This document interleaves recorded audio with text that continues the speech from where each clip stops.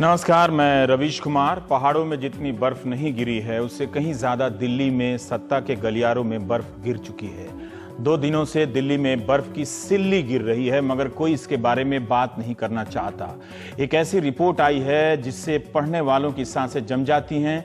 और जो भी पढ़ता है अपना फ़ोन बंद कर देता है कि कहीं कोई इस पर प्रतिक्रिया न मांग ले। पत्रकार इस रिपोर्ट को छोड़ बाकी सारी रिपोर्ट धुआंधार तरीके से ट्वीट कर रहे हैं ताकि बर्फ़ की सिल्ली पर जितनी जल्दी हो सके धूल जम जाए।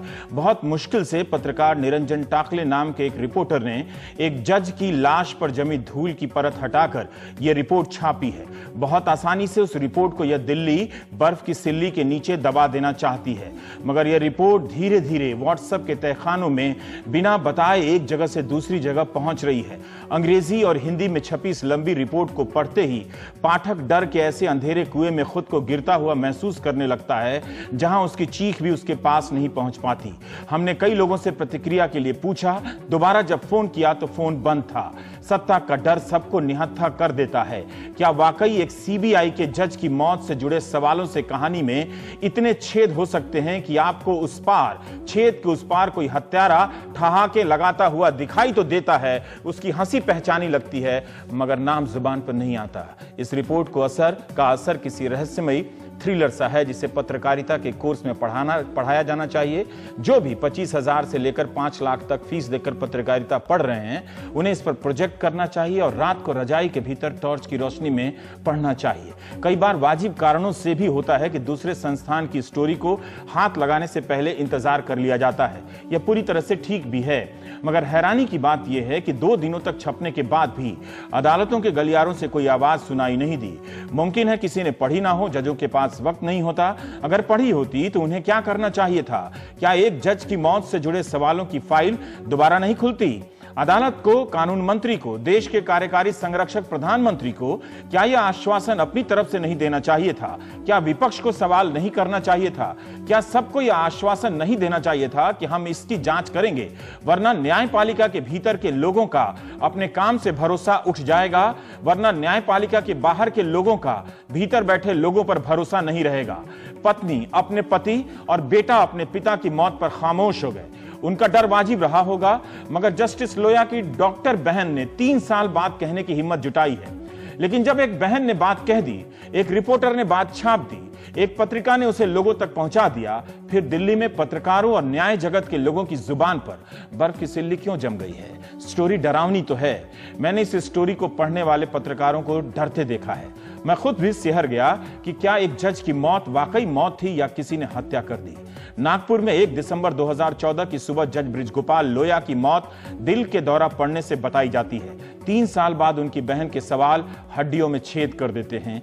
लगता है कि उनकी किसी ने हत्या की होगी और हत्यारा आराम से टीवी देख रहा है। उसने कैरवान मैगजीन की स्टोरी चुपके से पढ़ भी ली होगी। मुमकिन है इस स्टोरी पर पर्दा डालने के लिए दिल्ली में हिंदू, मुस्लिम मुद्दों की आंधी चल जाए। ऐसे मसले आ जाए जहाँ टीवी पर मौलाना और एंकरों के बीच जंग छिड़ जाए। लेकिन जब भी आंधी थमती है, वो स्टोरी झलकने लगती है। पत्रकारिता का एक दायित्व यह भी है कि जब सारे लोग किसी स्टोरी को मरा हुआ छोड़कर आगे चले जाएँ तो बहुत दिनों बाद वहाँ लौटा जाए और देखा जाए, वहाँ कुछ और सुराग तो नहीं था।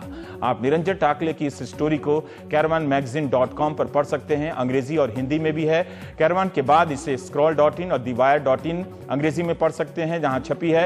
हिंदी में आप कैरवान मैगजीन के अलावा Wire Hindi dot com Media Vigil dot com पर इस स्टोरी को पढ़ सकते हैं। India Samvad dot com dot co dot in ने भी एक इस स्टोरी में अपना एक नया एंगल जोड़ा है।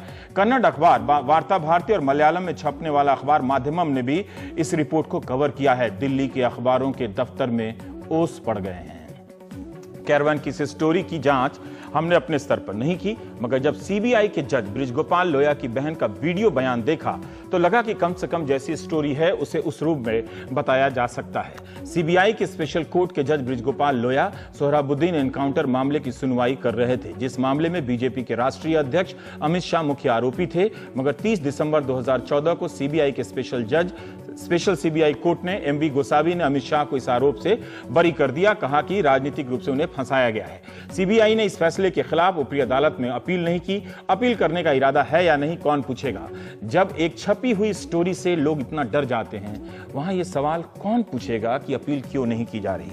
6 जून 2014 को स्पेशल जज उत्पट नाराज़गी ज़ाहिर करते हैं कि अमित शाह क्यों नहीं आए। जज उत्पट आदेश देते हैं कि अमित शाह 20 जून को कोर्ट में हाजिर हों, नहीं आते हैं तो अगली सुनवाई की तारीख 26 जून तय कर देते हैं, मगर 25 जून को उनका तबादला हो जाता है। सुप्रीम कोर्ट का आदेश है कि सोहराबुद्दीन मामले में एक ही अधिकारी शुरू से अंत तक जाँच और सुनवाई करेगा।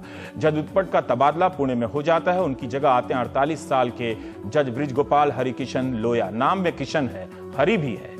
अमित शाह को निजी तौर पर हाजिर होने की शर्त से छूट दे देते हैं। कहते हैं कि वे दस हज़ार पेज की चार्जशीट को फिर से देखना चाहते हैं। नए जज थे, इसलिए केस संवेदनशील भी था, इसलिए भी। उनके साथ रहने वाली भांजी नुपुर ने बताया है, निरंजन टाकले को कि इस केस को लेकर बहुत तनाव में थे मामा जी, और इसे कैसे समझा जाए, इसमें बहुत सारे लोग शामिल हैं। इससे कैसे निपटा जाए? भांजी ने यह बात निरंजन टाकले को बताई। उसी के बाद से निरंजन ने इस कहानी की पड़ताल शुरू कर दी। 31 अक्टूबर को जज लोया ने पूछा कि अमित शाह हाजिर क्यों नहीं है? शाह के वकील कहते हैं कि उन्होंने, जज साहब ने खुद ही उन्हें हाजिर ना होने की छूट दी है। लोया याद दिलाते हैं कि छूट तब दी थी कि जब अमित शाह राज्य से बाहर हों, लेकिन उस दिन तो वो शाह मुंबई में थे और शपथ ग्रहण समारोह में शामिल थे। एक दिसंबर 2014 की सुबह नागपुर में जस्टिस लोया की मौत होती है। उन्होंने 15 दिसंबर 2014 को अपने सामने अमित शाह की पेशी पेशी होने की का ऐलान, फैसला दिया था। 30 दिसंबर को नए जज एम जी गोसावी, अमित शाह को सभी आरोपों से बरी कर देते हैं, कहते हैं कि उन्हें राजनीतिक कारणों से फंसाया गया था। जज की मौत वाली स्टोरी में अमित शाह का ज़िक्र सिर्फ़ संदर्भ की बात है। बताने के लिए कि जज साहब कितने हाई प्रोफ़ाइल मामले की सुनवाई कर रहे थे, इसका मतलब यह नहीं कि किसी पर इशारा किया जा रहा है। वो हम बिल्कुल नहीं कर रहे, मगर इसी एक कारण से यह भी लगता है कि जज लोया की मौत से जुड़े सारे सवालों को गंभीरता से लेना चाहिए ताकि किसी को उस संदर्भों पर शक ना हो। आखिर उनकी बहन को बताना तो पड़ेगा कि उनके सवालों का क्या हुआ। जज लोया नागपुर नहीं जाना चाहते थे। वहाँ एक जज की बेटी की शादी में जाना था, मगर दो जज कहते हैं कि चलना चाहिए, चलिए।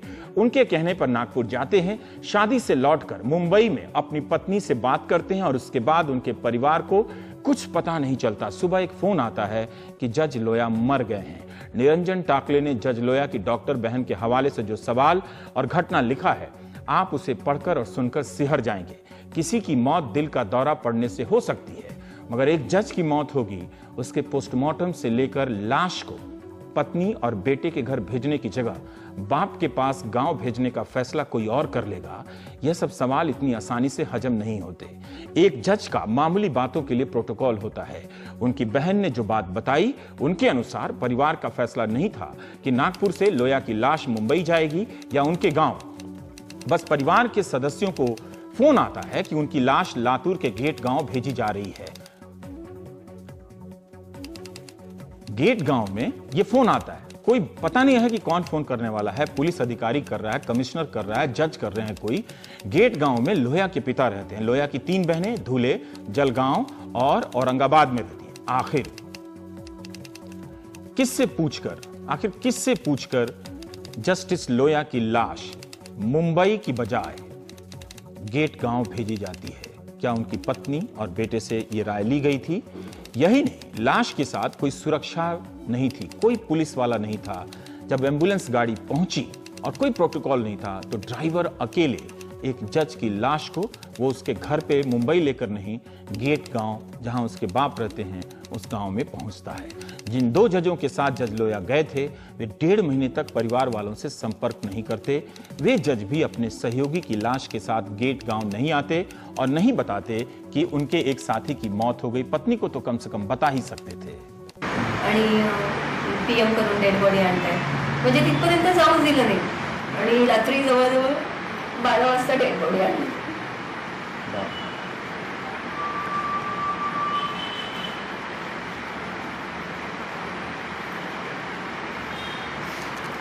ॲक्च्युअल त्याचा बॉबल तिथेच मागे होता. मुलीने मला सांगितलं की बॉबल तिथेच हां चष्मा.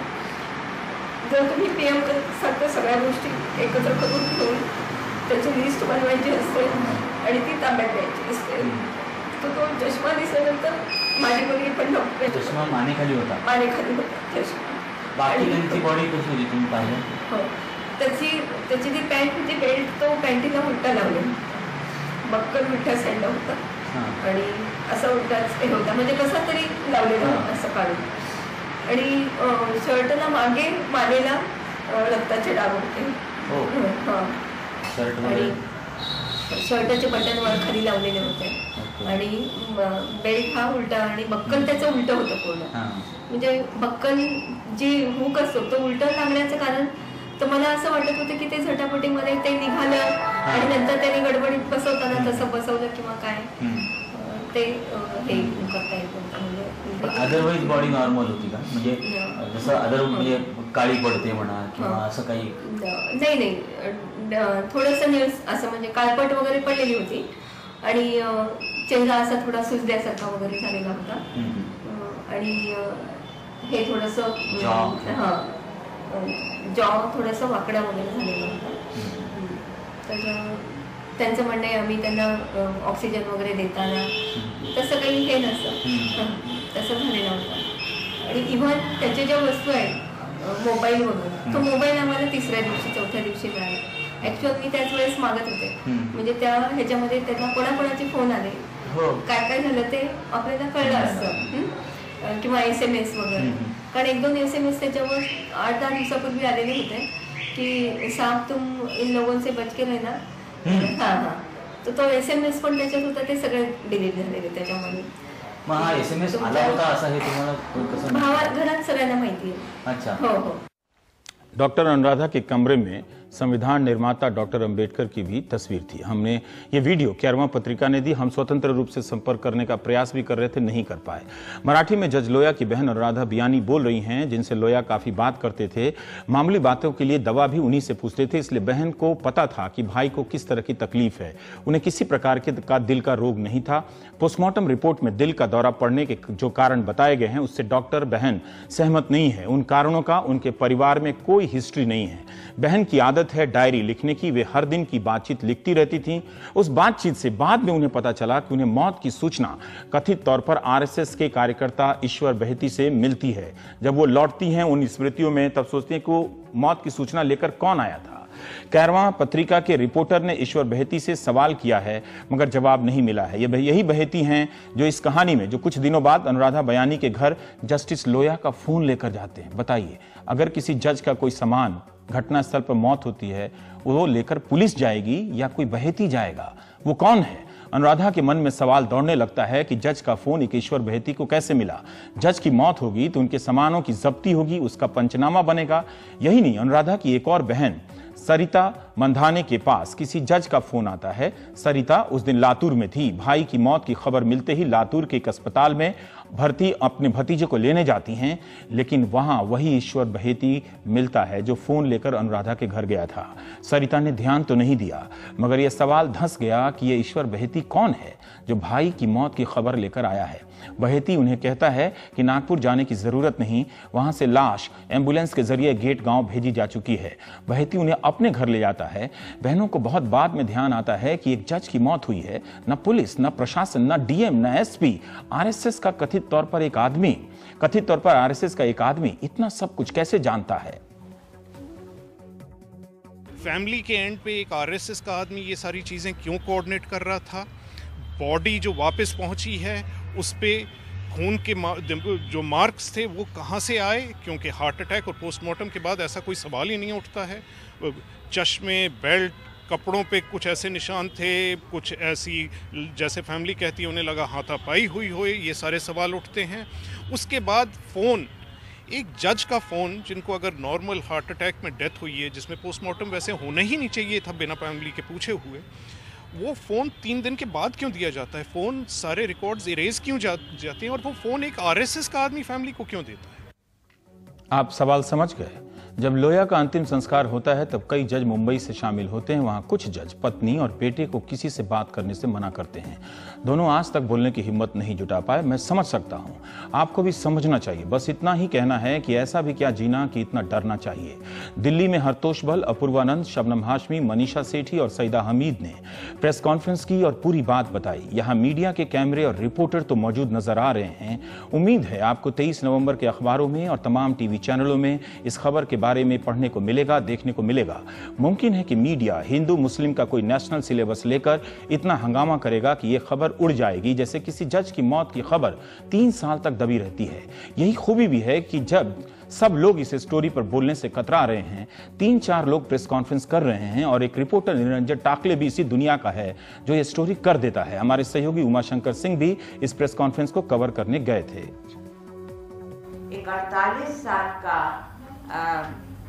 जज जो यकीनन वो प्रेशर में थे, क्योंकि उन पे जैसे उनकी बहनों ने बताया कि प्रेशर तो पड़ रहा था उन पे, मगर कोई उनकी लाइफस्टाइल में कोई ऐसी चीज़ नहीं थी कि वो, एक तो ये उन, इतने कार्डियक अरेस्ट या हार्ट फेलियर से वो एकदम उनका ख़त्म हो जाना, ऐसी जगह जाना, उनके शादी में जाना नहीं चाहते थे, उनको इसरार करके ले जाया गया। और जो दो उनके फेलो जजेस थे, वो बिल्कुल लापता थे, उनका कोई पता नहीं था। उनके उनके, उनकी डेड बॉडी एक ऑटो में ले जाई गई हम सब एक ऐसी मैं कम से कम अपने आप बता सकती हूँ, क्योंकि मैं प्लानिंग कमीशन की मेंबर थी। कहीं भी हम जाते थे तो कुछ ना कुछ, थोड़ा बहुत प्रोटोकॉल गाड़ियाँ, कुछ तो मिलता था। इस हालत में, इतनी बेकसी की हालत में उनको ऑटो में डाल के ले जाया गया। तो बहुत से सवाल, जैसे हरतोष भाई ने कहा, कोई नो आंसर कोई जवाब नहीं है, कोई जवाब नहीं। जवाब नदारत है, कोई जवाब नहीं है।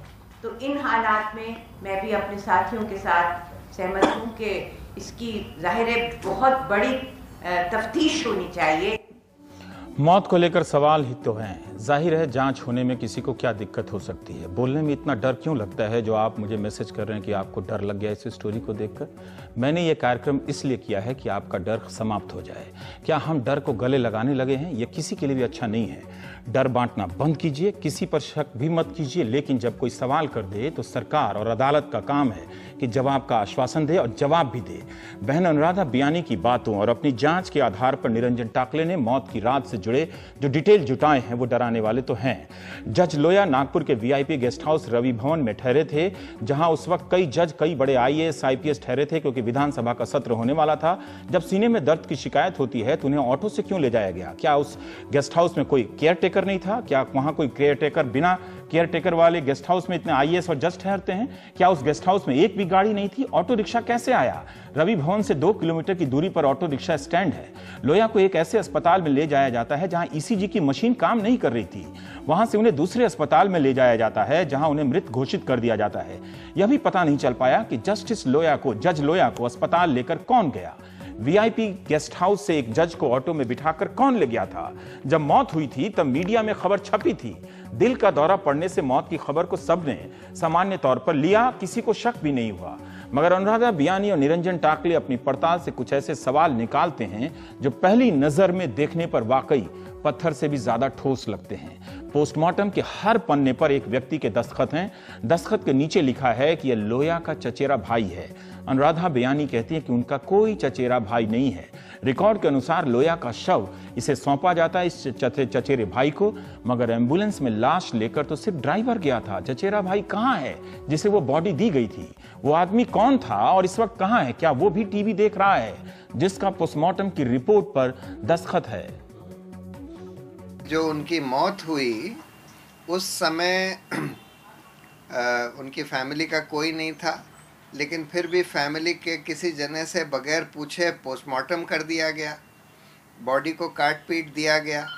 उसके बाद कि उनकी बॉडी उनके कपड़ों के ऊपर खून के बहुत सारे निशान थे, जो कि पोस्टमार्टम से नहीं हो सकते, इससे तो बहुत संदिग्ध मामला बन जाता है। और ये लगता है कि जैसे शायद उनका, उनकी हत्या करी गई हो। और उसी के ठीक बाद एक दूसरे जज को अपॉइंट किया जाता है उनकी जगह, जो अमित शाह क्योंकि अपियर नहीं हो रहे थे, उस पर कड़क होते हैं तो उनका भी ट्रांसफ़र तबादला करके और उसके बाद जो तीसरा जज आता है, वो फटाफट अमित शाह को उस केस में बरी कर देता है, सौराबुद्दीन वाले मामले में। और उसका अपील भी सीबीआई ने, जिन्होंने एक हज़ार पेज से ज़्यादा की चार्जशीट फ़ाइल करी अमित शाह वगैरह के खिलाफ, सीबीआई ने उसकी कोई अपील भी नहीं फ़ाइल करी। तो इससे दो बहुत बड़े सवाल खड़े हुए हैं कि क्या जज लोया की हत्या करी गई? और उसके लिए मेरी राय में एक बहुत ही गंभीर एसआईटी इन्वेस्टिगेशन की ज़रूरत है, या जेपीसी इंक्वायरी की ज़रूरत है। और दूसरा ये कि अमित शाह को जो बरी किया गया, वो कितना सही है और उस पर सीबीआई ने अपील क्यों नहीं फ़ाइल करी? ये दोनों बहुत गंभीर मामले हैं। रिपोर्ट बहुत लंबी है और डरावनी भी है। अगर एक जज की मौत से जुड़े सवाल अधूरे रह जा, रह सकते हैं तो हम किस व्यवस्था में जी रहे हैं और किसके भरोसे? कैरवन पत्रिका ने एक और रिपोर्ट छापी। इस रिपोर्ट के बाद, जिसमें बताया गया है कि एक जज को, एक जज ने इस केस को निपटाने के लिए कथित रूप से जज लोया को 100 करोड़ के रिश्वत की पेशकश भी की थी। इसका ज़िक्र यहाँ नहीं, क्योंकि जज की मौत से जुड़े सवाल अभी खत्म नहीं हुए। आप समझ गए होंगे कि क्यों दिल्ली पर बर्फ़ की सिल्ली पड़ी है। क्या एक जज की मौत की जाँच से लेकर पोस्टमार्टम रिपोर्ट रिपोर्ट तक में इतने अंतर हो सकते हैं? सुनंदा पुष्कर की पोस्टमार्टम रिपोर्ट तो रोज टीवी पर खुलती है, खुलनी भी चाहिए। मगर जस्टिस लोया के परिवार वालों को क्या जवाब देंगे आप लोग? नागपुर के सीतावदी पुलिस स्टेशन और सरकारी मेडिकल कॉलेज के दो सूत्रों ने निरंजन टाकले को बताया है कि उन्होंने आधी रात को ही शव देख लिया था। उसका पोस्टमार्टम भी उसी वक्त कर लिया गया था। मगर पोस्टमार्टम रिपोर्ट में मृत्यु की सूचना का वक्त सवा छह बजे है। पोस्टमार्टम शुरू होता है दस बजकर पचपन मिनट पर। और खत्म होता है ग्यारह बजकर पचपन मिनट पर। अगर मृत्यु की सूचना छह बजे हुई तो परिवार वालों को क्यों नहीं बताया गया? सवालों को सोचिए सोचिए अगर एक जज की इस तरह से मौत हो सकती है आपका क्या होगा? ज़ाहिर है मौत का समय और पोस्टमार्टम के समय को लेकर दो तरह की राय आ गई यहाँ पर। डेथ हुई थी 2014 में। आ, उसके दो महीने बाद जहाँ तक फैमिली कहती है लड़के ने एक चिट्ठी चीफ जस्टिस को लिखी थी। कोई एक्शन नहीं हुआ था प्रोब का डिमांड था। फैमिली ने 2016 में रिपोर्टर को अप्रोच किया है और रिपोर्टर ने इस पे काम शुरू किया है निरंजन बहादुर दिलेर और बहुत ही अच्छा रिपोर्टर है। आ, कुछ कारणवश ये स्टोरी कैरी नहीं हुई है। हमें महीना पहले रिपोर्टर ने अप्रोच किया और जो डिटेल्स उनके पास थे हमने वो सारे डिटेल्स देखे और फैसला किया कि हमें उसमें और छानबीन करनी है। वो छानबीन हमने शुरू की, रिपोर्टर ने वापस जाके बहुत मेहनत से जो जो चीज़ें हमें चाहिए थी, वो सारी पता की। वीडियोस पे, रिकॉर्ड पे हम सबको लेके आए हैं। जब ये सब काम हो गया और जब हम संतुष्ट थे हर स्टेप पे तो हमारी कैराबान टीम ने, एडिटोरियल टीम ने डिसीज़न लिया कि अब स्टोरी तैयार है, we will run with it basically जज को ऑटो रिक्शा में ले जाना, ऐसे अस्पताल में जहाँ पे ईसीजी नहीं है, कोई लोकल आदमी का वहाँ पे ना होना पोस्टमार्टम क्यों किया गया बिना परमिशन के? फैमिली को पोस्टमार्टम और मौत के बाद क्यों इतला दी गई? हॉस्पिटल से ही क्यों नहीं फ़ोन गए? फैमिली और को जो टाइम दिया गया और जो इन्फॉर्मेशन मिली पोस्टमार्टम में, उसके बाद का टाइम क्यों लगा हुआ है? ऐसा फैमिली का कौन रिश्तेदार था जिसने पोस्टमार्टम साइन किया है? बॉडी को बॉम्बे जहाँ से जज आए थे, जहाँ फैमिली रहती है, वहाँ क्यों नहीं वापस भेजा गया? सबसे ज़्यादा डिस्टर्बिंग ये है कि जैसा लग रहा है कि हिंदुस्तान में एक जज सुरक्षित नहीं है। जज का परिवार खुद उस न्यायिक व्यवस्था में सुरक्षित महसूस नहीं कर रहा है और वह न्यायिक व्यवस्था उसे आश्वस्त नहीं कर पा रही है। हमारे लिए बहुत चिंता का विषय है और निराशा का विषय है कि एक इतने गंभीर मामले में जिसकी सुनवाई चल रही थी, कायदे से मीडिया की की आँख, कान उस मामले पर लगे होने चाहिए थे।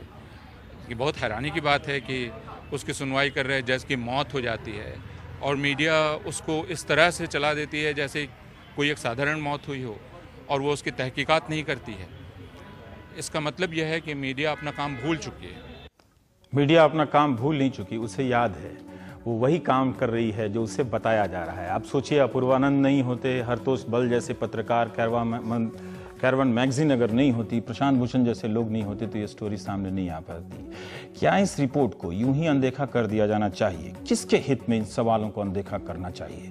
एक जज की मौत होती है, उनका बेटा और पत्नी बोलने का साहस नहीं जुटा पाता है तो क्या भारत के मुख्य न्यायाधीश को उन्हें सुरक्षा का भरोसा नहीं देना चाहिए? उन्हें बोलने का हौसला नहीं देना चाहिए? आखिर जब एक नागरिक डर के कारण जीने का, बोलने का हौसला छोड़ देगा तो कौन हौसला देगा? संविधान के संरक्षण के तौर पर, संरक्षक के तौर पर सुप्रीम कोर्ट के मुख्य न्यायाधीश उसे हौसला नहीं देंगे तो कौन देगा? क्या सत्ता को हमने डर का चादर बना लिया है कि वो डराती रहेगी और हम उस डर की चादर को तान कर सोते रहेंगे, उसके नीचे डर से कांपते रहेंगे। सवाल सिंपल है। जज तमाम तरह के मामलों की सुनवाई करते हैं। बहुत मुश्किल है कहना कि किसी की हत्या का संबंध किस मामले से था, मगर क्या यह जानना ज़रूरी नहीं कि एक जज की मौत को लेकर सवाल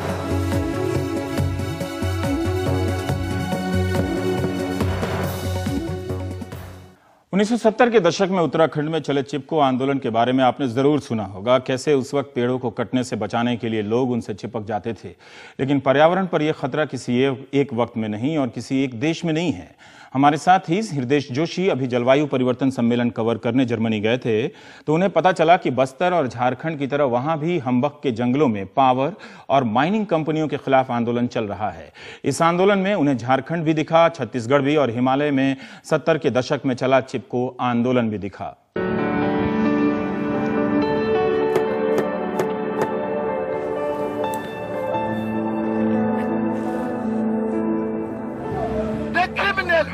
जर्मनी के बॉन शहर में हुए जलवायु परिवर्तन सम्मेलन के वक्त, जहाँ एक और दुनिया भर से इकट्ठा हुए कई लोग कोयले के इस्तेमाल के खिलाफ नारे लगाते रहे, वहीं दूसरी ओर, यहाँ से कुछ किलोमीटर दूर, मुट्ठी भर लोग धरती के सबसे पुराने जंगलों में से एक को बचाने के लिए लड़ते दिखे।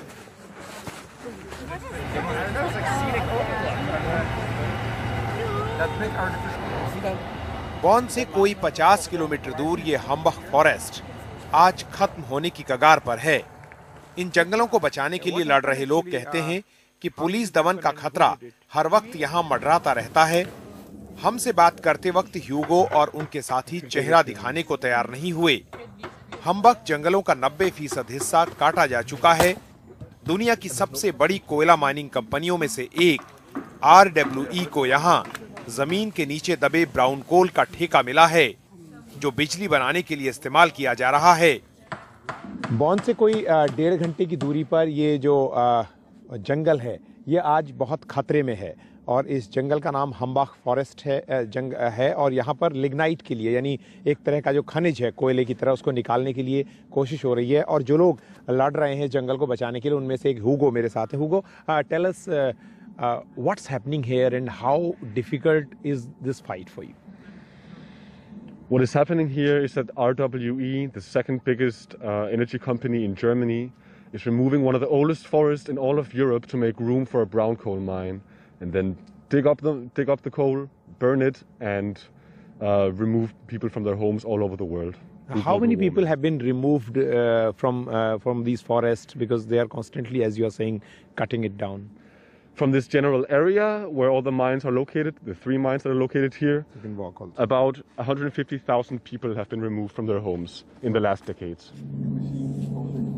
इन प्रदर्शनकारियों ने पुलिस और माइनिंग कंपनी के लोगों को भीतर घुसने से रोकने के लिए जंगल में प्रवेश करने वाली सड़कों को काट दिया है मध्य भारत के झारखंड या छत्तीसगढ़ की तरह यहाँ भी लोगों का संघर्ष सत्ता के साथ साफ़ दिखाई देता है और जो मैसेज यहाँ पर लिखा हुआ है उसको समझने की कोशिश करते हैं साफ तौर पे ये तो दिखाई दे रहा है कि ये पुलिस के लिए लिखा गया मैसेज है what is written out here and what is the message for the police here This barricade is um, supposed to stop or hesitate the police from coming in the forest and destroying uh, this forest. So we hope that the driver would be Christian and would not want to um, to tear down uh, this Jesus barricade.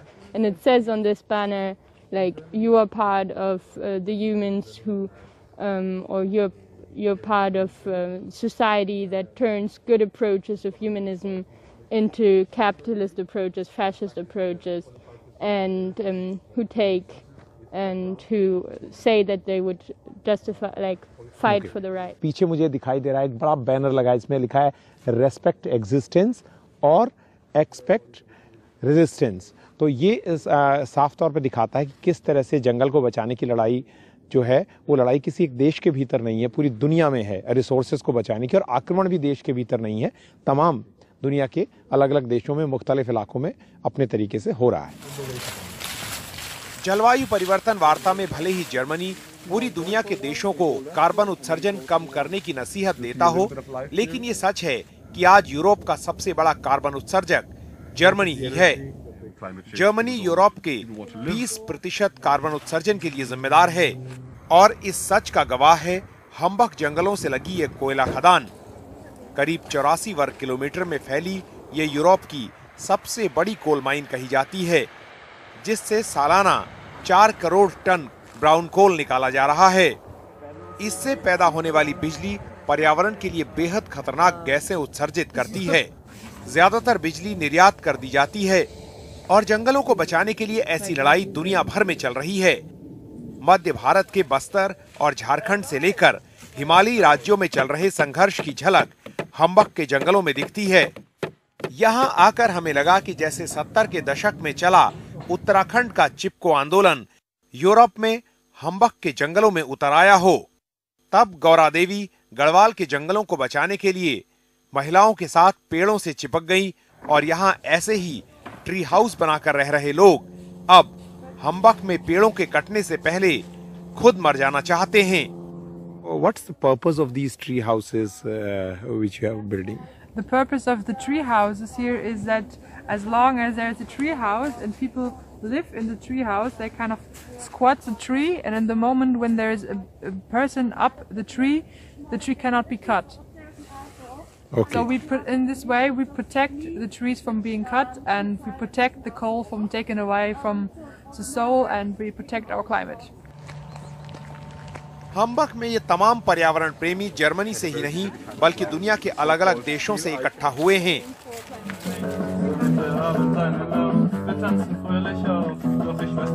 drauf und für mich auch. Wahrscheinlich wär's nicht so unbequem, könnte ich mein Ego zurücknehmen. England America Canada Italy और Spain से यहाँ डेरा डाले हुए ये सामाजिक कार्यकर्ता हम्बक के बचे खुचे अस्तित्व को लुटने से बचाने के लिए लड़ रहे हैं Well, it's actually not just about this forest, it's more about the whole situation because what we are fighting here is not just the deforestation of this particular forest, but we are fighting um, the use of lignite for energy production, which is causing a major impact on climate uh, all over the world. So, what we are fighting is actually climate change and uh, structural violence. Like caring for climate change and whatever. I personally will not take up arms. I will blockade this area and I will protect it for as long as I can.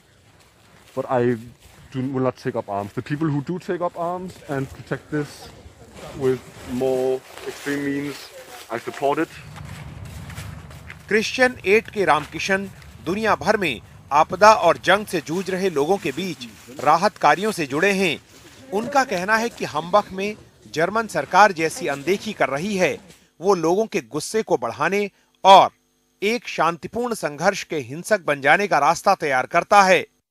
हम्बाग जंगलों में हमने देखा है जैसे कि 90 प्रतिशत जंगल को काट दिया गया है।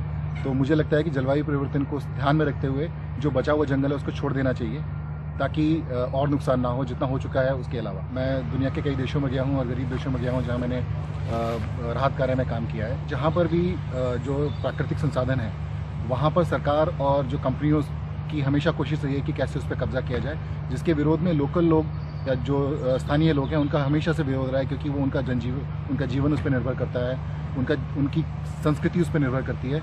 तो ये हमेशा से एक एक द्वंद्व रहा है दोनों के बीच में। और जिस तरह से पूरी कोशिश की जा रही है कि प्राकृतिक संसाधनों को पूरी तरह से अपने कब्जे में लिया जाए, मेरा अनुभव भारत में और भारत के बाहर भी ये रहा है कि जो भी सरकार या कंपनियों का जो जो एक प्रॉमिस होता है कि हम आपको विस्थापन की सुविधा देंगे या हम आपको बाकी सुविधाएँ देंगे, वो कभी पूरी नहीं होती है। मेरा अनुभव भारत के कई इलाकों में रहा है जहाँ पर कई साल पहले जिन लोगों को विस्थापित किया गया था, आज तक भी उनका पुनर्निवास नहीं हो पाया है और वो लोग कहीं ना कहीं गरीबी की हालत में रह रहे हैं। एक ऐसे वक्त में जब जर्मनी दुनिया को साफ़ ऊर्जा के इस्तेमाल की नसीहत दे रहा हो, हम वक्त दुनिया के ताकतवर देशों को आईना दिखाता है। ये एक नसीहत हमारी सरकार के लिए भी है, जहाँ वन संपदा से समृद्ध जंगलों से बार बार आदिवासियों को विस्थापित होना पड़ता है। जर्मनी में हम्बक के जंगलों से हृदय जोशी, एनडीटीवी इंडिया के लिए।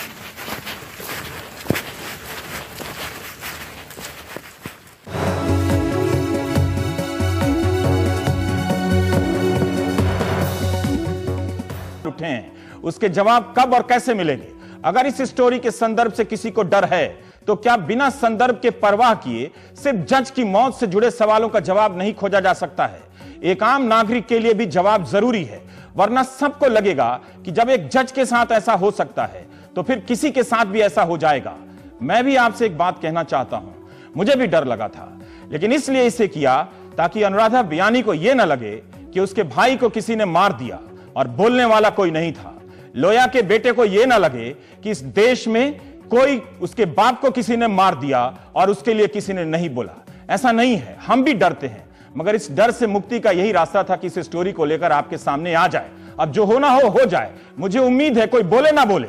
भारत के प्रधानमंत्री और भारत के मुख्य न्यायाधीश ज़रूर बोलेंगे कि डरने की बात नहीं है। जो सवाल है, उनकी जाँच होगी और होकर रहेगी। ब्रेक के बाद भारत से उड़कर चलेंगे जर्मनी।